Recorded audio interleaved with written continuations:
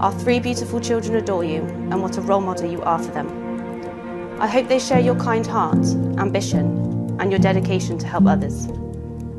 Thank you for not shying away from the challenges of fatherhood, for showing our children what love looks like, and setting the bar high for the love they allow in their lives in the future.